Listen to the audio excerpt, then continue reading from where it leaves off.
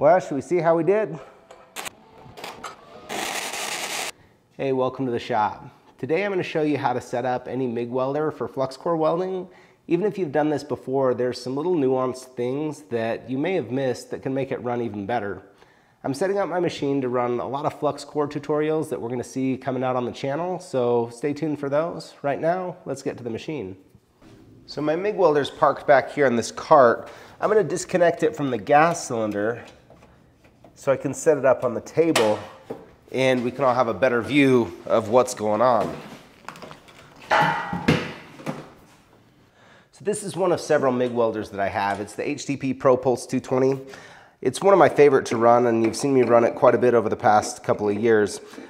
I'm gonna remove the solid wire that's in here for welding with shielding gas and I'll just clip it off right here. Some people will try to roll this back up onto the spool to save the wire, but I, I think it's just as well to, to let it go and then just pull the rest of it out through the end of the gun. So let's talk about the wire for a minute. You can see this is the solid wire that came out of here. It's copper coated uh, most of the time, not always but uh, that's the solid wire that I use with shielding gas and this is the flux core wire that I'll use without shielding gas. Now it comes in different size spools. These right here are 8 inch spools. It also comes, you can get it in little 2 pound spools, little 4 inch spools like that um, that work okay and they're larger spools. You notice here inside the machine, this machine actually has a spacer in there because this can accommodate a larger 12 inch spool. Now let's just talk for a minute about the actual wire itself. There are a couple different types of flux core wire. There's self-shielded like we're using here where you don't need any shielding gas. There's also gas shielded flux core wire. It's often called by trade names dual shield or outer shield. Um, that's, that's a totally different setup than what we're doing here today. So I have videos on that you can find on my channel, but we're focused on the self-shielded flux core and the specific spec that we're running is E71T-11. You'll see a lot of the flux core wires out there E71T-GS. What that means is it's not to a specific spec basically, but the manufacturer has some liberty. I've used a ton of different brands of flux core wires and most of them work just fine, honestly. Some are a little better than others. But uh, yeah, I stick with the E71T-11 most of the time. Now before I install the spool onto here, I'm just gonna point out about this spindle right here and something that's often overlooked. Right here in the middle, there's this second screw. In a lot of cases, it's just a nut that uh, sits on there and that controls the tension. See, if I loosen that way up right here, this whole thing can spin freely. So I need to tighten that to keep it from free spooling, right? So then it adds some resistance. Now, in this case, this machine uh, uses a spacer here as a friction fit because it can accommodate that larger size spool. Uh, but in some cases, the pin on here uh, will engage with a hole right there in the spool. So that's gonna depend on your particular machine. But right here, I can slide it right on and secure it with the nut. Now with this on, that feels pretty good. See if it's too loose, what'll happen when it gets spinning, it'll continue to spin and that wire can come over the side there and it won't stay on very well. What a lot of people will do is just crank this down so it's really having to grind on there. There's no point in putting that much load on the components. A good measure is, can I move it with one finger and not have it free spool? A little tighter. Let's keep going. Back off just a little bit. Right there, that's the, that's the sweet spot, just like that. So it spins easily, but it doesn't keep spinning, and I can just move it around with one finger. Now before I put the wire into the feeder, let me release the idler tension and let's talk about drive rolls, because there are specific drive rolls for flux core welding. So this is the drive roll that I just removed. You can see there's two smooth, deep V grooves in it. And those work really well to grab on that steel hard wire because you can apply a lot of force to it. This wire is tubular though, and so it's just metal on the outside filled with a flux powder. So instead, we'll use a knurled roller like this that can really grip those edges. Now there are two different sizes. Generally, the size reading will be listed on the outside. So when it's installed, what you can read is the size that's on there. Now with the right drive roll installed, I can feed my wire in. Rather than trying to straighten this out, I'm just gonna clip the end off right here um, so that I have a nice, smooth start to be able to feed into my guide and ultimately into my gun liner. Since my gun's already installed on this machine, I'll just feed it right through and that usually goes just fine. Um, if it does get jammed, you might need to remove the gun and put it on. Now I'm gonna loosen this up right here. A lot of times this idler is way too tight. Almost always when I go to a machine that uh, I, I haven't been welding on, this is, this is tighter than it needs to be. So I'm gonna loosen it way up and we'll dial that in once I get the wire fed down through the gun.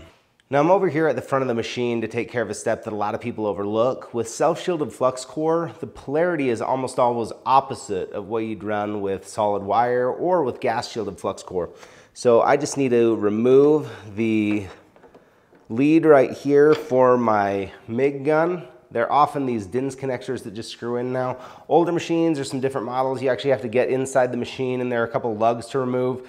It's nice when they come out the front like this so it's easy to change but then I'll move my work clamp here and connect my work clamp to the positive terminal and then my actual MIG gun will connect up to the negative terminal. What this will do is it'll send more heat into the material than into the wire because you're dealing with that tubular wire. You don't want to send all that heat in there. So that makes it run so much better. You get a lot less spatter. Hey, so I'm just gonna jump in here. If you are just getting started in learning, the actual learning process can be pretty frustrating. And while there's a lot of videos on my channel and out there on the internet that can help you to learn and you'll figure it out, you can do it much faster and much better if you have a solid plan.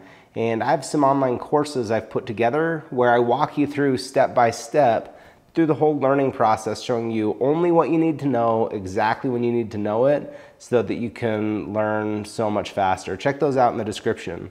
Let's get back to this setup.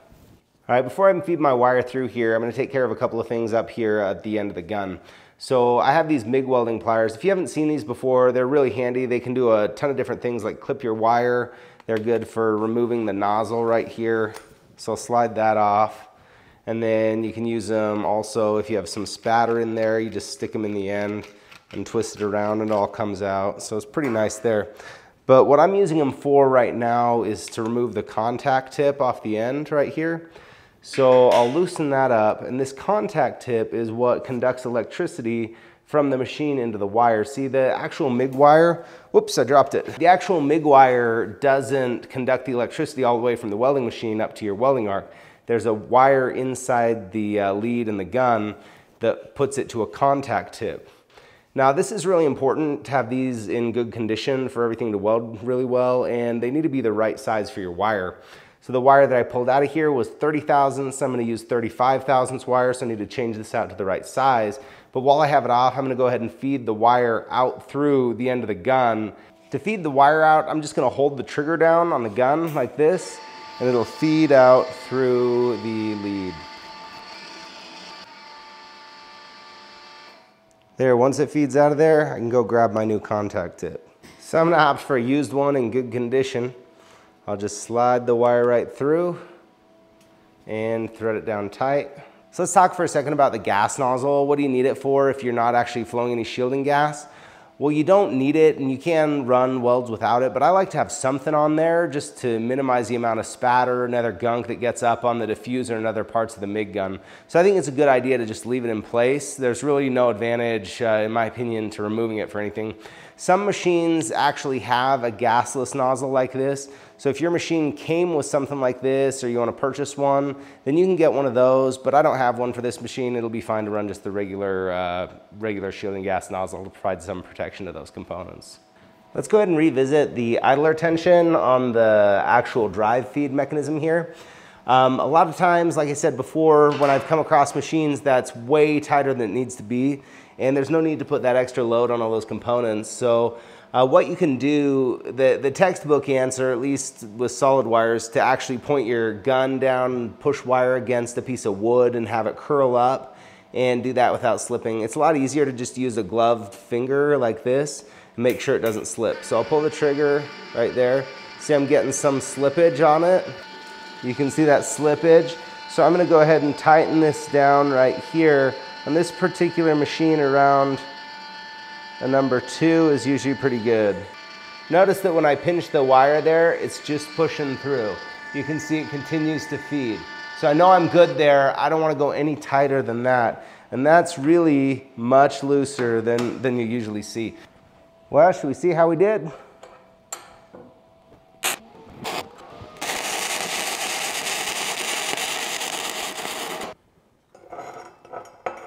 All right, let's brush that off. Give it a little chipping, a little brushing.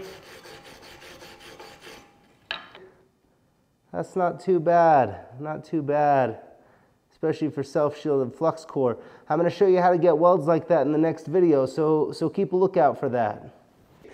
So I thought it might be helpful to just come over here to the board and do a quick recap. You can grab a screenshot of this and help you remember what to do. So first of all, we installed our spool, just at the spool brake so it won't free spool, but you don't want that too tight. A lot of people get that too tight. Then the proper drive roll needs to be in there with those knurls in it to feed that tubular wire, followed by the polarity. Make sure you're on DC electrode negative to get things running well. Then you need to have the right contact tip in and make sure it's a good one. And finally, adjust the feed tension of that idler on your feeder. Don't have that too tight. There's no reason to do that. And if you do all these things, everything's gonna run so much better for you. You know, a lot of these have to do with the wire feeding. And I come across people all the time who are learning to flux core weld and they're talking about they have an electrical problem and they think they need to go buy some expensive work clamp and all that other stuff. And the reality is a lot of wire feeding problems manifest similar to electrical problems. It's a lot more common to have a wire feeding problem than an electrical problem. So make sure that you've covered all your ducts, have those in a row on the setup and things are gonna go a lot better for you. All right, so go check that stuff to get everything running in tip-top shape. Thanks a ton for tuning in. If you enjoyed this video or learned something here, let me know by hitting that thumbs up below. We'll see you next time.